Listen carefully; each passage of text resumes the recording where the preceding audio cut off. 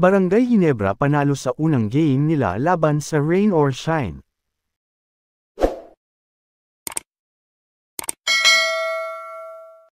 Jamie Malonzo nagpakitang gilas sa kanilang unang laro kontra sa Rain or Shine 113 kontra 107 biyernes ng gabi sa Smart Araneta Coliseum.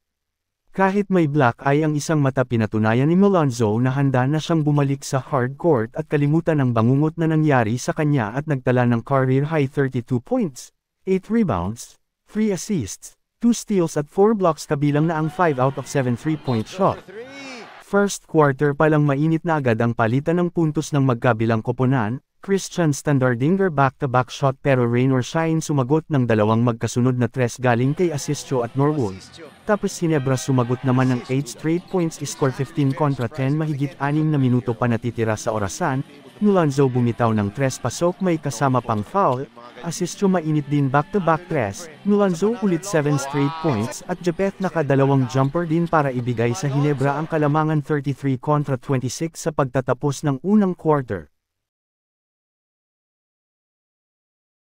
Second quarter back-to-back tres mula kay Maverick Ahanisi at Stanley Pringle. Karakot sumagot ng isang floater, iscore 43 kontra 35 mahigit 8 minuto pa natitira sa orasan, Gamaro corner 3 basket, Rain or Shine sumagot ng 6 straight points baba sa lima lamang ng Hinebra pero Ralph Ku sumagot ng isang tres din sa gilid, Rain or Shine 8 straight points, si Stan sumaksak sa basket may kasama pang foul, 51 kontra 48 mahigit dalawang minuto na lang natitira sa orasan, Ahanmisi nakashoot ulit at Malonzo layup din kaya natapos ang first half sa score na 58 kontra 52.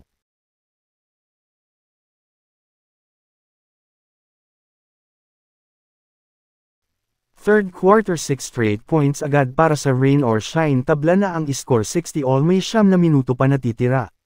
Malonzo mainit pa rin sa tres sinundan pa ng isang floater mula kay Ahanisi, pero sumagot naman kaagad si Karakot ng tres din, Hinebra back-to-back threes mula kay Malonzo at pinto sinundan pa ng isang layup ni Jepeth Aguilar. Santilan back-to-back points, Malonzo hindi mapigilan naka-tres ulit, rain or shine Karakot jumper 2 points din tapos Santilan spin move pasok, Hinebra sumagot ng 7 straight points mula kay Malonzo at Jepeth tapos Pringle bumitaw sa malayo tres din score 85 kontra 73 mahigit 3 minuto pa natitira sa orasan, back-to-back -back basket mula kay Jepeth Aguilar para mapanatili ang kalamangan 92 kontra 79.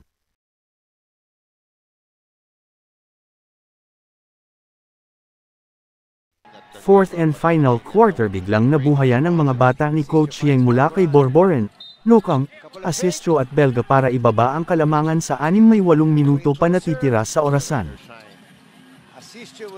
Si Stan back-to-back basket tapos Malonzo jumper ulit pero rain or shine hindi sumusuko 7-0 run, si Stan at Ralph ko sumagot ng layup, numuyak at karakot back-to-back threes pero kinapos pa rin ang rain or shine at hindi na nga nakahabol pa at natapos ang laban sa score na 113 kontra 107. Ito ang unang panalo ng Hinebra bagamat hindi nakapaglaro ang kanilang playmaker na si Scotty Thompson dahil sa back injury at ito naman ang ikatlong sunod na talo ng Rain or Shine, Best Player of the Game si Malonzo na may 32 points 8 rebounds 3 assists, 4 blocks at 2 steals sunod na makakalaban ng Hinebra ang Phoenix Fuel Master sa linggo ika-10 ng Marso sa ganap na alas 6.15 ng gabi.